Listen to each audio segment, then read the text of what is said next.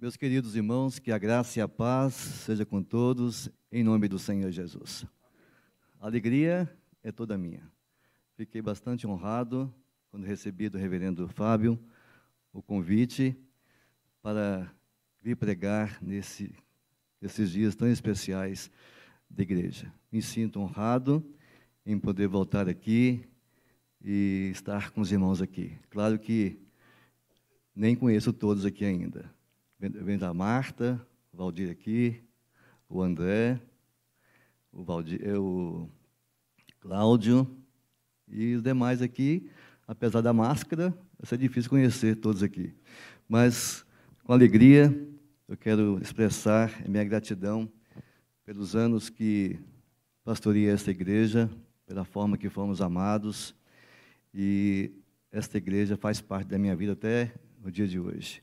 Tanto é que essa igreja apoia o ministério do Jonatas, lá na cidade de Goiás. Então, é a igreja que tem participado muito da, da nossa vida e temos lembrado sempre e temos sempre testemunhado do amor dessa igreja por onde passamos. Meus queridos, eu quero convidar a todos para que abram suas Bíblias na primeira carta de Paulo à igreja de Tessalônica, capítulo 5.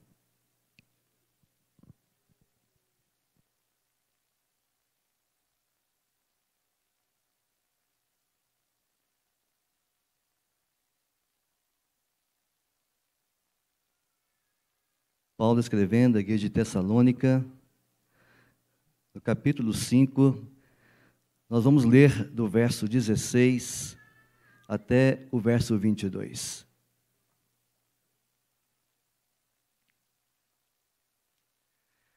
Diz assim a palavra do Senhor: Regozijai-vos sempre, orai sem cessar, em tudo dai graças, porque esta é a vontade de Deus em Cristo Jesus para convosco.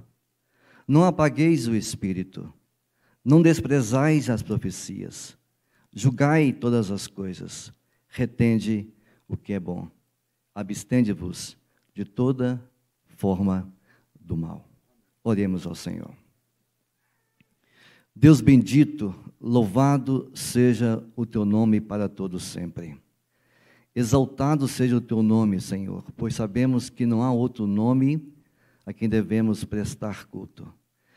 Pai, damos-te graças porque podemos estar na tua casa mais uma vez, a fim de adorarmos o teu nome, a fim de termos comunhão uns com os outros e a fim de aprender da tua palavra, Senhor. Abençoa esta igreja, meu Pai, que tem sido uma bênção neste local. E com certeza muitas vidas já foram alcançadas através do ministério desta igreja. Ó Pai bendito, que agora, também nessa, nesse momento de falar da Tua palavra, que o Teu Santo Espírito nos dê sede e compreensão da Tua palavra, em nome do Senhor Jesus Cristo. Amém. Amém. Meus queridos, a igreja que Paulo escreve dos Tessalonicenses surgiu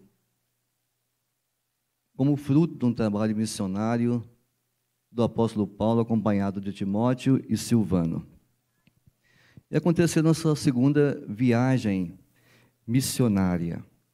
A permanência de Paulo e seus companheiros em Tessalônica foi curta devido à perseguição dos judeus. Mas apesar de pouco tempo entre os tessalonicenses, surgiu entre eles uma igreja que se tornou firme e madura. Uma igreja que Paulo já destaca algumas qualidades, como a igreja modelo para Macedônia e a Caia. Nesse texto, nós acabamos de ler, mas antes, Paulo ele faz, no versículo 12 até o versículo 15, também ele faz algumas recomendações à igreja. No versículo 12 e 13, ele fala sobre que a igreja deveria ter apreço, consideração para aqueles que trabalham entre vós. E aqui eu quero pedir permissão para falar, é, quando fui convidado para pregar aqui nesse dia, ser lembrado por essa igreja, e todos os pastores estão passando por aqui, eu lembrei desse texto. Uma igreja que tenha aprendido e aprendeu ter máxima consideração pelos seus líderes. Amor. Então, esta consideração, reverendo, de lembrar dos seus líderes, mostra também que esta igreja pode ser uma igreja considerada madura, uma igreja modelo também, a igreja do IPG2.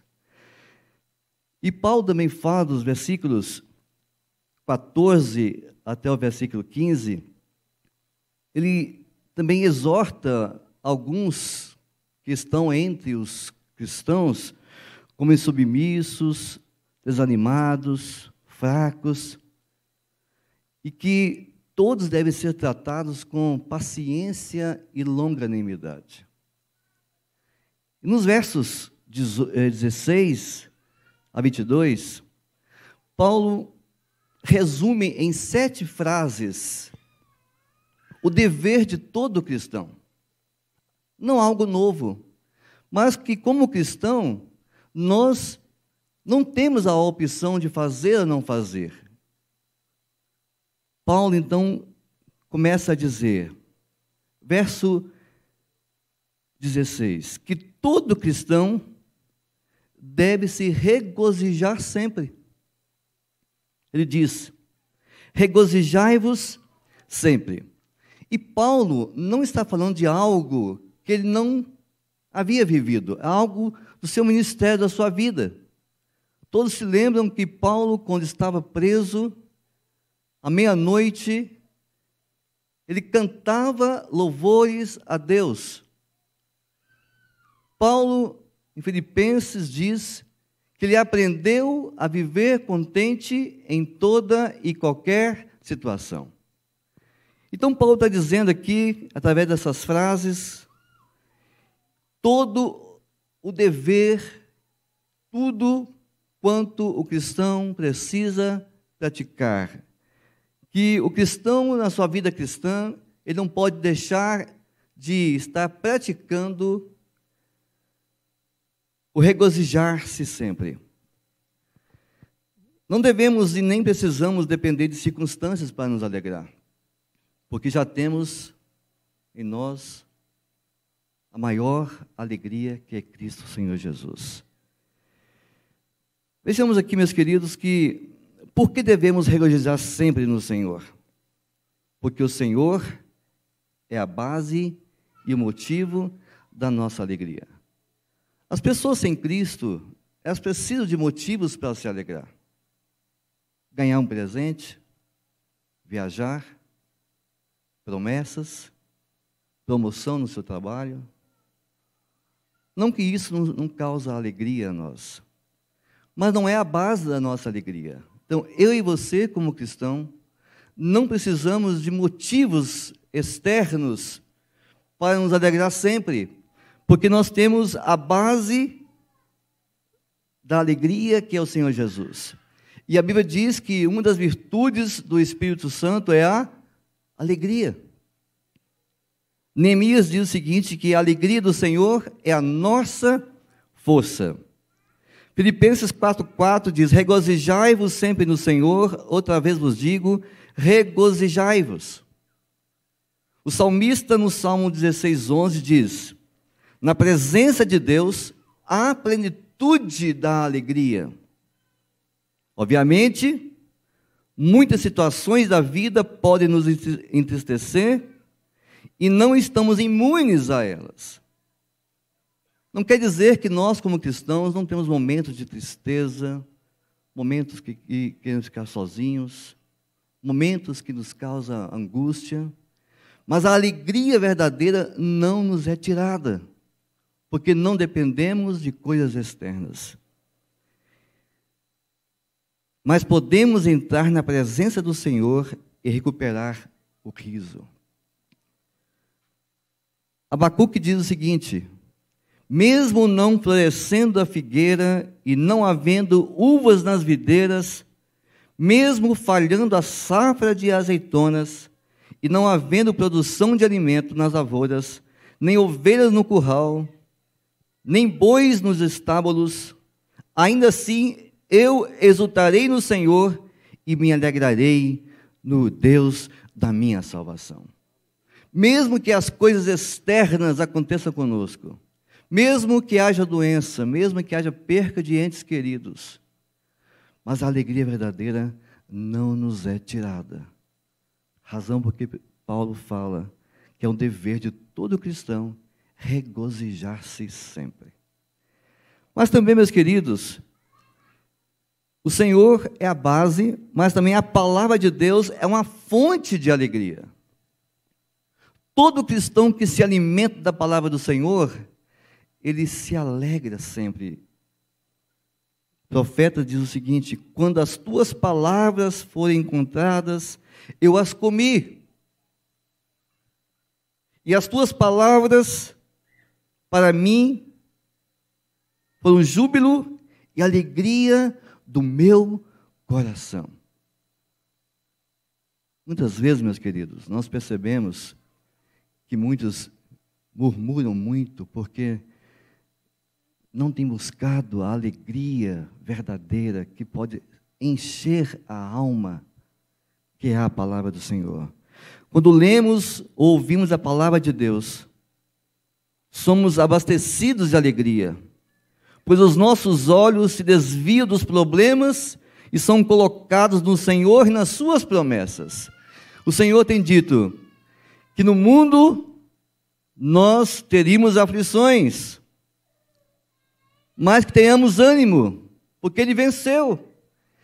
Então, quando nós focamos na palavra do Senhor e olhando para aquele que é o consumador da fé, a alegria não pode ser roubada porque a alegria é no Senhor e não nas coisas que são palpáveis, nas coisas efêmeras, nas coisas que se acabam. E Jesus foi muito claro em dizer: não acumuleis tesouros. Não se apegue àquilo que acaba, que o ladrão rouba, que a traça corrói. Mas pense naquilo que é eterno. A alegria do Senhor é a nossa força. Quantas vezes, tenho certeza, que você chegou no culto, veio à igreja desanimado, triste. E quando ouviu a palavra do Senhor, as suas forças foram renovadas. Você foi realmente abastecido com a alegria do Senhor. Mas Paulo também diz que todo cristão não deve apenas regozijar-se sempre, mas também, versículo 17, ele fala: orai sem cessar. Deus nos manda orar sem cessar. Isso significa que devemos viver em contínuo estado de comunhão com nosso Pai. Uma coisa gera outra. Sproul, em seu livro A Oração Muda as Coisas, ele diz o seguinte: alguém pode orar e não ser um cristão. Mas alguém não pode ser um cristão e não orar. Então, todo cristão é o que Paulo está dizendo. Ele escreve a uma igreja. Ele não escreve a, uma, a pessoas ímpias. Ele escreve a uma igreja pela qual ele destaca como uma, sendo modelo, uma igreja que de fato nasceu em perseguição, já nasceu madura e pronta. Ele diz que Todo cristão deve orar. Você ora, meu querido. Diz mais ainda no seu livro, diz o seguinte: a oração é para o cristão o que a, a respiração é para a vida. Mas nenhum outro dever cristão é tão negligenciado. Ele diz ainda que a negligência da oração é uma das principais causas da estagnação da vida cristã. Muitos crentes pararam no tempo, continuam anões espirituais, porque não oram, não conseguem viver uma vida plena em oração, de vida cristã. E Paulo exorta: você, meu irmão, precisa orar, precisa ter vida com Deus. Você precisa, se você de fato é cristão, você precisa orar. para ter crescimento espiritual. E nós temos essa exortação: orai sem cessar, orar todos os dias. Paulo fala com toda oração e súplica, orando em todo tempo no Espírito, e para isso vigiando com toda perseverança e súplica por todos os santos. Lembrando da frase de Paulo, quando diz que a negligência da oração é uma das principais causas da estagnação na vida cristã. Ele lembra que Pedro, por não ter orado lá no monte, quando Jesus foi orar, ele teve uma reação tanto sanguinária, cortando a orelha daquele soldado. Quando você não está em oração, em espírito, o Senhor Jesus tem dito: orai para que não entreis em tentação. Orar sem cessar. Orar sem cessar é perseverar na oração. Paulo diz ainda: perseverai na oração e vigiando com ações de graças. Mas uma terceira, um terceiro dever do cristão, não somente regozijar, não somente orar, mas no verso 18 ele diz: Em tudo dai graças, porque esta é a vontade de Deus em Cristo Jesus para convosco. Manifestar sua gratidão a Deus em tudo. Você diz, pastor, mas como é difícil dar graças a Deus por tudo. Como é difícil. Imagine uma mãe, depois de nove meses de gestação, criança nasce e falece. Como dar graças? Como dar graças quando eu perco um ente querido? Como dar graças quando eu me acidento? Como dar graças quando eu sou acometido de uma doença que eu sei que é terminal? Como dar graças por tudo? Mas aqui está a diferença entre nós e aqueles que não, não têm conhecimento do Senhor Jesus. São os decretos de Deus. É a soberania de Deus. E meus queridos, em tudo dai graças, porque esta é a vontade de Deus. E quando nós entendemos isto, nós levamos uma vida mais tranquila, mais feliz, porque nós entendemos que nós não vivemos para nós mesmos, mas para o nosso Senhor Jesus Cristo. Em tudo, dai graças. Não dar graças a Deus por aquilo que não é moralmente correto. Você já ouviu alguém dizer o seguinte: olha, graças a Deus, minha carteira venceu, passei na blitz e não fui pego.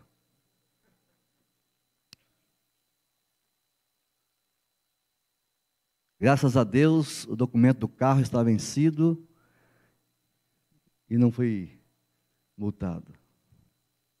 Então não é dar graça por aquilo que é moralmente incorreto, mas dar graças a Deus por aquilo que realmente nos faz crescer espiritualmente.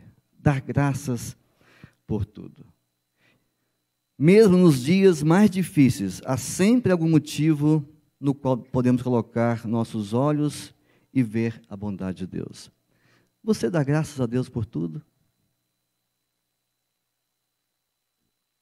Tem pessoas, crentes, que murmuram por tudo. E Paulo nos diz que o contentamento, ele gera realmente esse reconhecimento em dar graças por tudo. Mas continuando, meus queridos, Paulo ainda admoesta a todo cristão, não somente a regozijar, não somente a orar sempre, não somente dar graças por tudo, mas também diz: não apagueis o espírito. Apagamos o espírito quando vivemos no pecado. Nós entristecemos o espírito de Deus quando há gritaria, quando há mentira, quando há cólera, quando há prática de atitudes que não agradam ao Senhor. E João diz o seguinte: todo aquele que é nascido de Deus não vive na prática do pecado, pois o que permanece nele é a divina semente. Ora, esse não pode viver pecando porque é nascido de Deus. Então, meus queridos, Paulo diz: não apagueis o espírito. E a Bíblia diz que o pecado nos separa de uma comunhão íntima com o Senhor. Isaías nos diz. Você ora muitas vezes e não vê respostas. Você ora e não vê as mãos do Senhor estendidas. Não porque ele está surdo, não porque suas mãos estão encolhidas, mas há um pecado muitas vezes encoberto. E o Senhor nos manda confessai, porque Ele é fiel e justo para perdoar os nossos pecados. Também apagamos o espírito quando resistimos, não na questão da salvação, porque a salvação, a graça é irresistível, mas quando nós recusamos em servi-lo com alegria, em usar os dons que ele nos deu para servi-lo. Meus queridos, quando nós não fazemos o que o Senhor tem nos mandado, e eu sei que Ele está nos mandando, mas nós fazemos de conta que não estamos ouvindo. Você sabe qual é o seu dom? A Bíblia diz que todo aquele que, ao converter, com certeza Deus capacita com um dom. Muitos nem querem saber. Senhor, não me conte qual é, porque eu, tenho, eu vou ter que trabalhar. Deixa como eu estou mesmo, e, porque assim eu não vou ter como é, recusar se eu souber qual o dom que eu tenho. Então, meus irmãos, se Deus tem chamado para servi-lo na igreja, onde quer que esteja, não resista ao Espírito Santo do Senhor. E eu digo sempre que o missionário não é aquele que vai para o seminário, para um instituto bíblico. Você pode ser um engenheiro, você pode ser um doutor, você pode ser um advogado e pode ser um missionário onde quer que você esteja. Amém, meus queridos? Você é missionário onde quer que você esteja. Então não resista o Espírito Santo do Senhor. Mas também apagamos o Espírito do Senhor quando deixamos de buscá-lo. Efésios 5,18 diz o seguinte: Não embriagueis com vinho, mas enchei-vos do Espírito Santo de Deus. Muitas vezes tem havido uma inversão. Muitos têm, têm se embriagado e têm se apagado do Espírito Santo de Deus. Mais uma quinta palavra de, de Paulo sobre o dever do cristão, no verso 20. Ele fala o seguinte: Não desprezeis as profecias. Não são as profetadas que eu devo estar dando ouvidos, mas não desprezar o que a Bíblia tem nos ensinado. Creia nas Escrituras, obedeça às Escrituras. E Paulo, de forma enfática, se você voltar no mesmo capítulo 5, no verso 1 a 3, ele está falando sobre a volta do Senhor Jesus. E essas, esses conselhos que aqui está dando, é para que nós, como cristãos, enquanto aguardamos a sua volta, para que nós sejamos é, vivificados e alimentados para aguardar a volta do Senhor Jesus. Observe só no versículo 1 a 3, que ele fala: Irmãos, relativamente aos tempos e às épocas, não há necessidade que eu vos escreva pois vós mesmos estáis inteirados com precisão de que o dia do Senhor vem como ladrão. Quando andai dizendo paz e segurança, eis que lhe sobrevirá a repentina destruição, como vem as dores de parto, a que está para dar a luz, de nenhum modo escaparão. Então Paulo está dizendo: creia nas profecias, creia nas promessas do Senhor Jesus. Sexto, a sexta palavra de Paulo recomendando aos cristãos, verso 21. Ele fala: Julgai todas as coisas, retende o que é bom. J.C. Riley, em seu livro Retende o que é bom, ele fala o seguinte: Se desejarmos reter o que é bom, não devemos tolerar ou consentir qualquer doutrina que não seja pura doutrina do Evangelho de Cristo. E Paulo nos exorta: mas ainda que nós, o mesmo anjo do céu, vos pregue evangelho que vá além do que temos pregado, seja anátema. Que nós possamos não dar ouvidos a tudo que se passa, tudo que se ouve, mas realmente nos apegar naquilo que é gratificante, aquilo que é verdadeiro, a palavra do Senhor. Também Ralho diz que se queremos reter a verdade, devemos estar prontos para nos unir com todos que creem a verdade e amar o Senhor Jesus Cristo em sinceridade. E terceiro, ele fala ainda: se queremos reter a verdade, vamos nos assegurar que temos agarrado pessoalmente a verdade de Cristo para nós mesmos, não para os outros, mas que nós vivamos isto. Em resumo, ele diz: vocês precisam se lembrar das palavras de ouro de Paulo: retende o que é bom. E amados, finalmente, a última palavra que Paulo traz para a gente aqui sobre o dever do cristão é: abstende-vos de toda forma de mal. Verso 22. Por último, Paulo diz que devemos renunciar a toda forma de mal, ou seja, que vivamos uma vida de compromisso radical com o Senhor. Radical com o Senhor.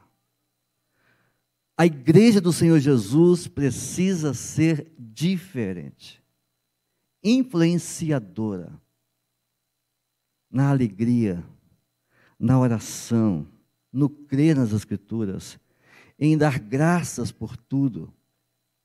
É você que é cristão, que está ao lado de alguém que está sofrendo e dizer: em tudo dai graças. O cristão precisa viver enchendo sempre e ter uma vida cheia e conduzida pelo Espírito Santo de Deus. Não desprezar as Escrituras. Não viver na contramão das Escrituras, mas viver na contramão do mundo. E retende o que é bom. E abster-se de toda forma do mal. O que é abster da forma de mal. É renunciar ao pecado. Paulo diz o seguinte, é, não, não Paulo, o salmista diz: guardo no coração as tuas palavras para não pecar contra ti. E Daniel, diz a palavra do Senhor, resolveu Daniel firmemente não contaminar-se com as finas iguarias do rei, nem com o vinho que ele bebia, então pediu ao chefe dos eunucos que lhe permitisse não contaminar. Meus queridos irmãos, dever de todo cristão não é algo novo, mas é algo que, que é preciso ser uma realidade em minha vida e na sua vida. Enquanto aguardamos a volta do Senhor Jesus. E Paulo termina a sua carta dizendo isto. Veja só, lá no verso 23, ele fala: O mesmo Deus da paz vos santifique em tudo. E o vosso espírito, alma, corpo sejam conservados íntegros e irrepreensíveis na vinda do nosso Senhor Jesus Cristo. Eu e você, como cristão, só vamos resistir a esse mundo mal se ouvirmos esses ensinos da palavra do Senhor, levando a sério toda essa prática cristã. E assim, com certeza, iremos alcançar e vamos viver aguardando firmemente a volta do Senhor Jesus Cristo. Que o Senhor nos abençoe, em nome de Jesus. Que você, meu irmão, possa regozijar sempre, orar, não apagar o espírito, mas também não deve desprezar as profecias, retende o que é bom, firme nas promessas do Senhor Jesus, busque a nossa doutrina reformada, que nela não há como você desviar quanto aos ensinos verdadeiros das Escrituras. E a face do mal. Viva uma vida que realmente agrade ao Senhor em santificação e honra. Que o Senhor nos abençoe, em nome de Jesus. Amém.